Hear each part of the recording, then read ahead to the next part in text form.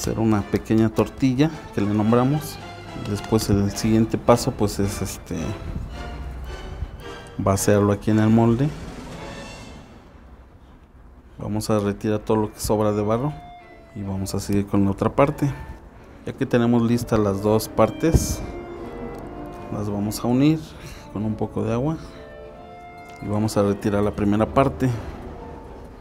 Vamos a quitar un poco de barro que, que sobró y vamos a retirar el otro, la otra parte del molde. Después de ahí ya viene lo que es este, le nombramos retira toda la rebaba del, excedente de barro. Ya vamos puliendo. Y en este caballito ahorita lo que vamos a hacer es darle un poco de movimiento aquí al, a la parte del cuello. Y después de eso pues hay que dejarlo un tiempo que repose pues para seguir haciendo los demás detalles. Después ya de una hora pues el barro ya se empieza a hacer duro y ya podemos empezarle a poner las orejas, la clean, las manitas. Pero así es como, como se va a hacer una pieza de molde. Después de que terminamos esta pieza ya de detallar, en cada alambre va un detalle. La dejamos más o menos como dos días a la sombra. Y después un día al sol. Y después ya viene lo que es la quema. Más o menos se, se hornea alrededor de 3 de tres a 4 horas. Y bueno, después ya sale cocido, ya se convierte el barro en color rojo. Y hay piezas que las dejamos en barro natural y hay piezas que pues ya se pueden empezar a, a pintar. Este yo le nombré homenaje al arte popular, porque está representado diferentes artesanías de México.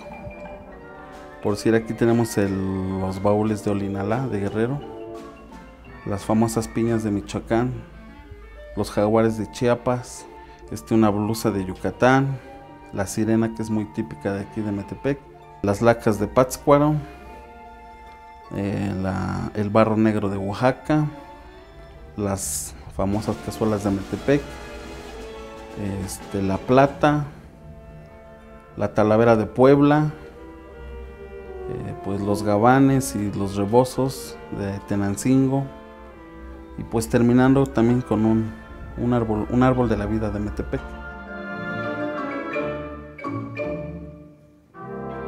En 1994 presenté este diseño representando pues algunos bailes típicos, bueno, los más representativos de México.